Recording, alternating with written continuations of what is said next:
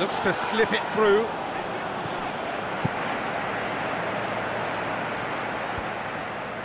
Mertens tried to play it through. Yeah, and it was a case of, of good awareness too. That wasn't quite matched by the, the right weight of pass. It only needed just a little bit more behind it, and he was through.